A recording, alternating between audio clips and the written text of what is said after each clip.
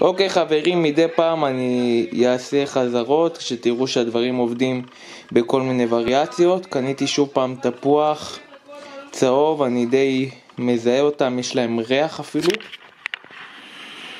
כן, יש לו ריח עדין, עדין, עדין, חלש. ואני מנסה למצוא את המקום שיהיה לי הכי פחות התנגדות. אם יש לי מקום מאורך, אז יהיה לי הרבה התנגדות. אני, אתה רואה?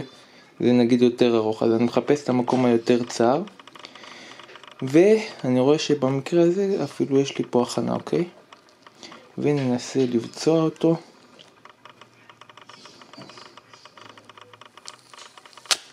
הופה, עבד.